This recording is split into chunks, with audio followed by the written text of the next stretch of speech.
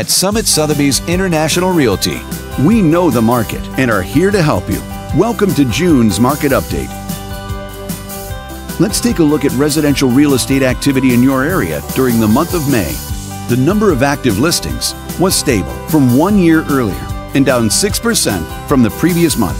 These latest figures mean that buyers had a more limited selection of homes to choose from compared to the previous month. As you can see, the median listing price for the month was $2.1 million.